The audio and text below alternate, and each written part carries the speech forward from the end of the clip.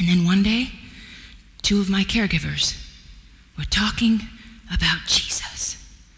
And the very mention of his names caused the, the demons to shudder and lunge out in guttural violence. Oh, I knew he had something of power that frightened them. I begged to be taken to him. But I remember very little of the journey. I've been told I was kicking and clawing and scratching and fighting. All I remember was the pain in every fiber of my body and the screams louder and louder, choking out all other sound. I was deaf by the time I was unchained and dropped at his feet.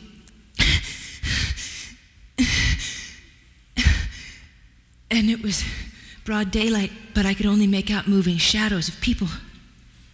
But there was light coming from him, from his feet, from his hands, his, his eyes. Oh, his eyes.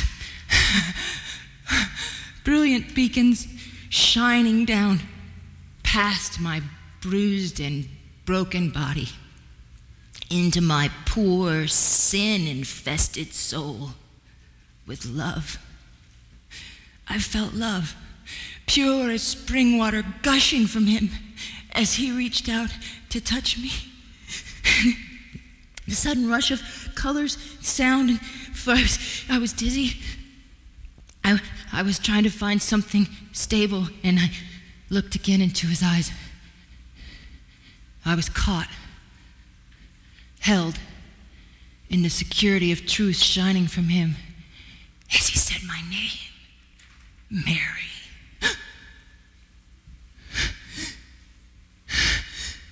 I began to take deep breaths, they were gone.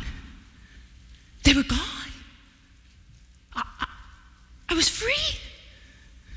I was free to walk in the newness of this day. I was free. This man, this man had done what I thought only God could do. Save me. I didn't know who he was. I only knew that every bite of food I tasted, every color I saw, every vibrant sound I heard or song I sang in freedom was from him. And I could find no words to thank him. what would I say? I only knew that he would be my master. And I would follow him wherever he led. Whatever life I had from that moment, I gave him.